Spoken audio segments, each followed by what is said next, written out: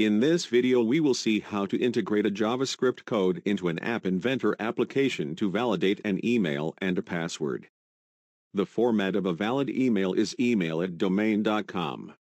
For the password, it must be at least 10 characters long, and must contain at least one uppercase character, at least one lowercase character, at least one digit, at least one special character, the technique involves using the Web Viewer component as a JavaScript processor.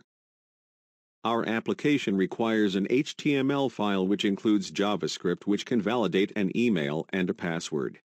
The JavaScript in this file includes two special App Inventor only functions, window.appinventor.getWebViewString and window.appinventor.setWebViewString. It is these two functions, App Inventor only, that allow your applications to communicate with the JavaScript that is running in the Web Viewer component. To get started, open your HTML editor. Then add the script tag to embed client-side script, JavaScript. The App Inventor application passes the email and password entered by the user to the JavaScript that runs in the Web Viewer component.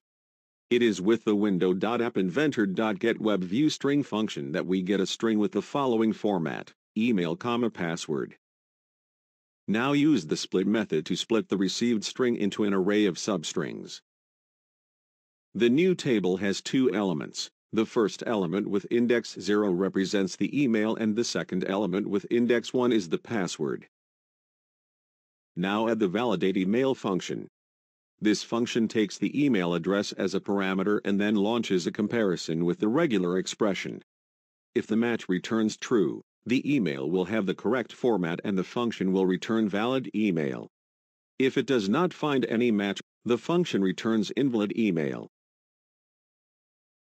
Add a second function validate pwd, which takes the password as a parameter. A password is correct if it contains at least one digit, at least one uppercase character, at least one lowercase character, at least one special character, minimum 10 characters. If all these conditions are verified then the function returns the message strong password. Otherwise, it returns the message weak password. Finally, add the function window.appinventor.setWebViewString to pass a character string to the App Inventor application. This character string takes this form, the message returned by the validate email function. Then, comma, then the message returned by the validate PWD function. Save the HTML file and switch to App Inventor.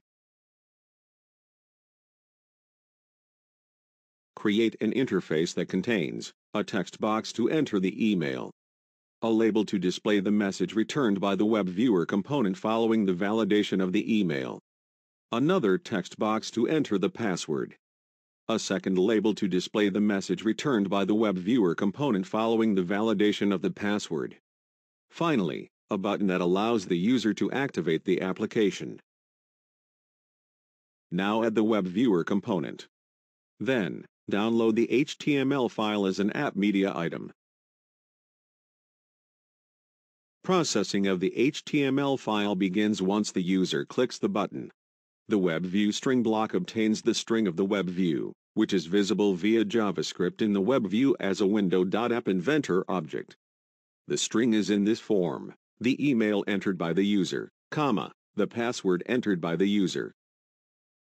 Next, call the GoToURL method to load the validate email pwd.html page, thus starting JavaScript processing.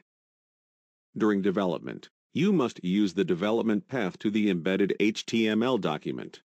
Before creating the application, use the production path. Remember to set this flag to false before building. The event WebView string change runs and the new WebView string is given by the value parameter. We need the split function to split the text into two pieces using comma as the division points. The resulting list is assigned to a variable and the elements of this list are displayed in the designated labels.